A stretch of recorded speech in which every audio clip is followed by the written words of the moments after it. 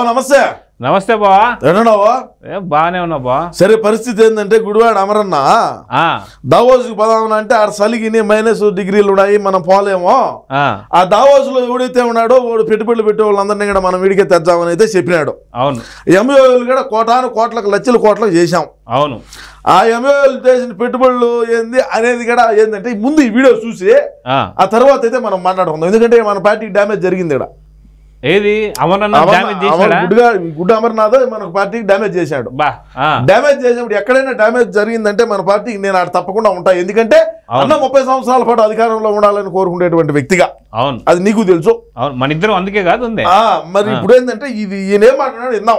సరే బా.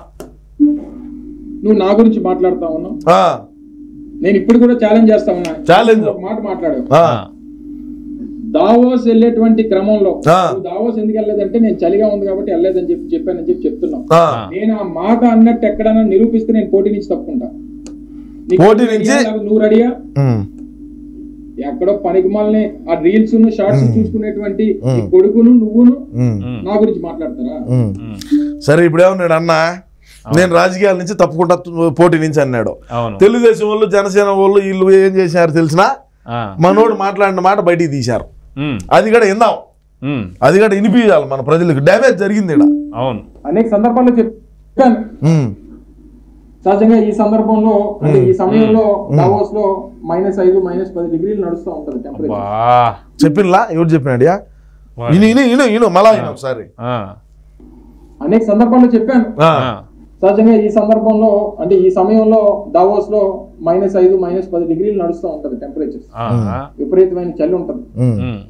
సహజంగా అందరికీ అదే ఉంటది కదా ఎన్నోళ్ళు దాదాపు రెండు వేల రెండు వేల ఐదు వందల నుంచి మూడు వేల మంది ప్రతినిధులు ఉంటారు.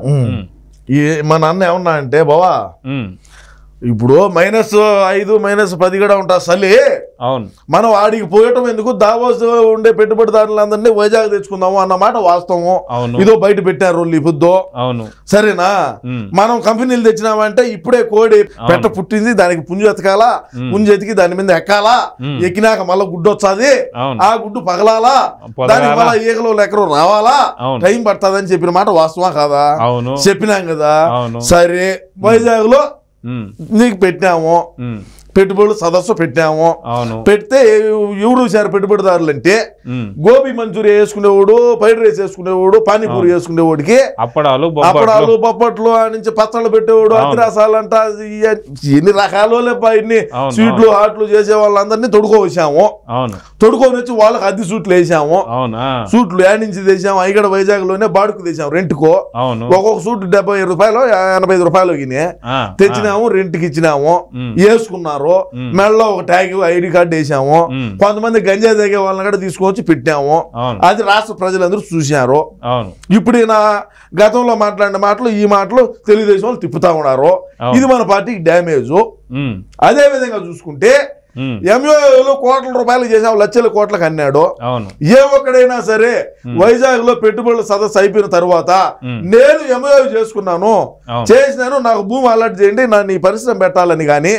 లేదు నేను ఇదో ఇన్ని కోట్లు ఇస్తున్నాను ఇన్ని కోట్లు ఉండదు నా దగ్గర అని కానీ పానీపూరి బండోడు కాడ ఒక పది కోట్లు ఎట్టొచ్చు బావా మనం అవలే చేయటం కాకంటే.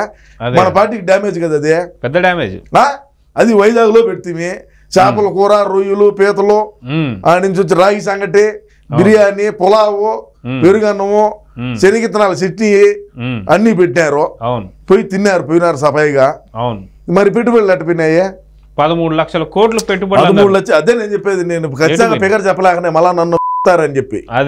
ఖచ్చితంగా ఫిగర్ చెప్పలేకనాం మనకు తెలియదు ఏమన్నది మనకు తెలియదు ఫిగర్లో ఉమ్, అదే కదా. మరి వీళ్ళు మంత్రులు ఐటీ మంత్రి అయిపోయా? అవును. కంపెనీలు ఏమైనా తెచ్చారంటే తెచ్చాం బొబ్బట్లు లడ్డు స్వీటు హాటు. కజ్జికాయలు పా- మైసూరు పాకు అంటాడు. ఆ. పచ్చళ్ళు టమోటా పచ్చడి ఈ చికెన్ పచ్చడి. కొరమైన పచ్చడి అవును. రొయ్యల పచ్చడి అంటాడు. అవును.